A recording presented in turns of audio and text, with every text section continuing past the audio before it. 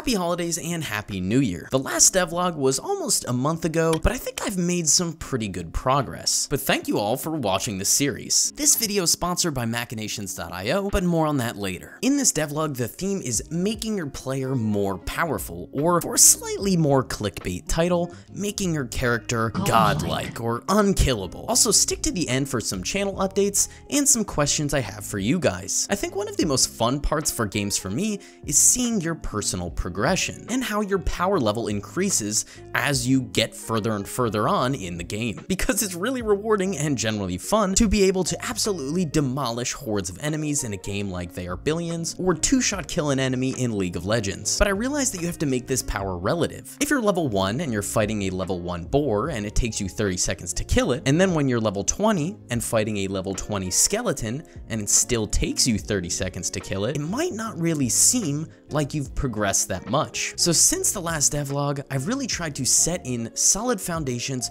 for player leveling and skill unlocks. If you are new to the devlog series, I highly encourage checking out some of the previous devlogs, but just to remind everyone about the general gist of the game, you're playing as one of several famed heroes battling to conquer the world, sometimes for good, sometimes for evil. Depends on the character. You have 24 hours of in-game time to get more powerful and develop allies before the rest of those other famed heroes try to also conquer the world. So the two main forms of player progression are gaining allies to be more powerful by association and personal player power. I covered the initial questing and relationship system in the previous devlog if you're interested, so I tried to focus on the other progression system for this devlog. The leveling system was fairly easy to implement. You have an experience bar and monsters and quests will grant you a certain amount of experience. Once you level up, your base health and damage will also increase, as well as the XP required for the next level. But for this system, I really had to think about how I wanted the player to be able to level up. I mentioned in the last video that doing quests for NPCs will be one of the main ways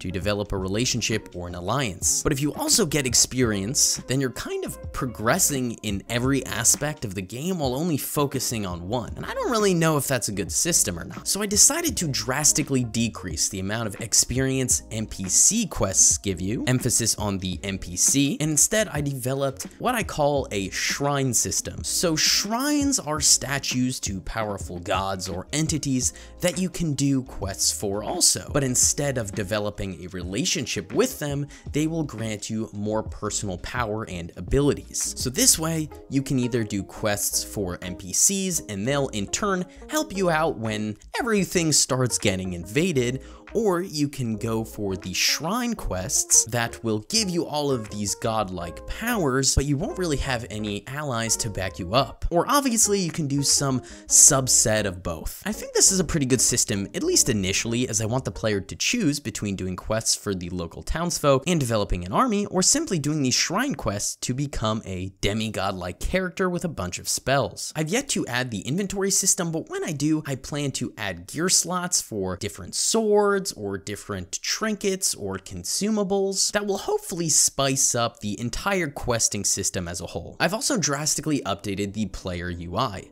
and now you can see the health and player profile and level in the top left with their experience bar. In the upper right is a clock, so once a full day elapses, that's when the invasions begin. Additionally, I added an action bar at the bottom, and this is primarily designed for those abilities that I mentioned before. I added one player ability as a test, and I think I like the system so far, and you can see that when it's on cooldown, it's just kind of grayed out. Additionally, I was thinking that each archetype or player character will have one active ability and one passive ability to start off, and then the players that choose to do more shrine shrine quests will unlock more of these personal abilities or enhance the ones they currently have. And one more call out to World of Warcraft that I mentioned in previous videos, a system that I really like is called Torghast. It's in the newest expansion and it's basically a massive tower and as you move up the tower, you can improve your existing character abilities for that run. It's not perfect, and it can get quite repetitive, but I think the foundations are a good idea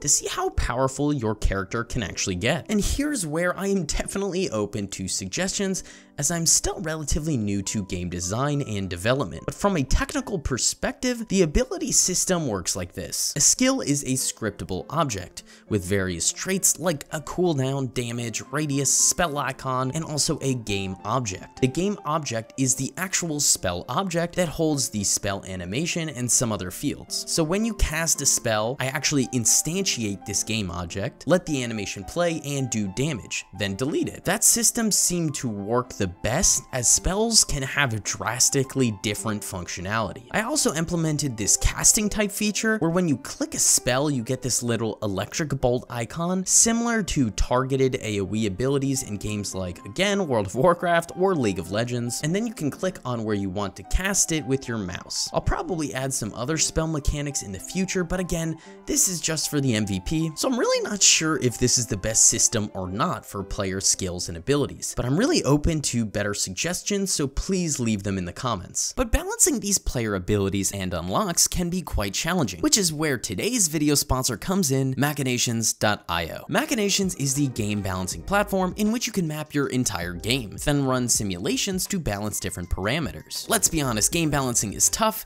and trying to model tons of different user behaviors and systems can get really confusing. And you know, I'm a data guy, so Machinations helps you make more data-driven decisions when it comes to game balance and reduce iteration and balancing time by up to 90%. I've mentioned League of Legends a couple times in this video, so here's a really cool simulation of the Hextech chess system in League created in Machinations. There are hundreds of ready-built templates, but you can also quickly build your own using prefab library items. There's a free forever plan, so you might as well give it a shot. Use the link in the description and start designing your own machinations. Thank you to machinations.io for supporting the channel. That's mostly what I've accomplished from the last devlog. I think now I'm gonna try to start on how the invasion system might work and maybe add some more NPCs and quests and clean up the overall map a little bit, as well as further mature the shrine system a little bit more. For some channel updates, thank you all for a great year on the channel and really looking forward to the next year and what lies in store for this channel. Additionally, I also thought about maybe starting to stream on Twitch, like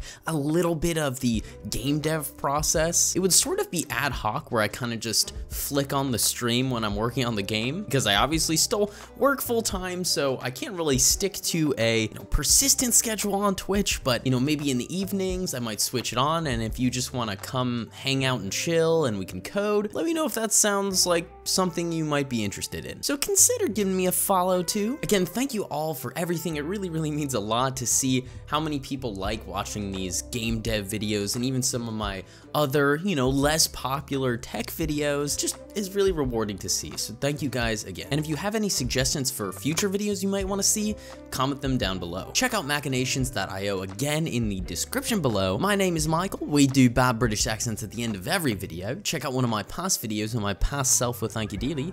Check out one of my future videos. And my future self would also thank you dearly. That's all from me. Hopefully I see you in another one. Happy holidays, happy new year. Bye bye.